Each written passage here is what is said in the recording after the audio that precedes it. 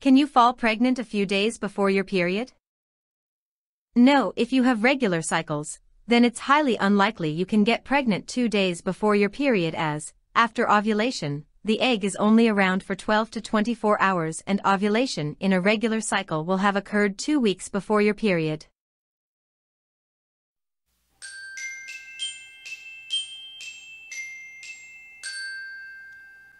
Why do I feel pregnant before my period? One of the most commonly experienced symptoms of pregnancy before a missed period is bloating or stomach twinges and pulls. These are a result of an increase in progesterone. Thank you guys for watching. I'll see you on my next one. Bye!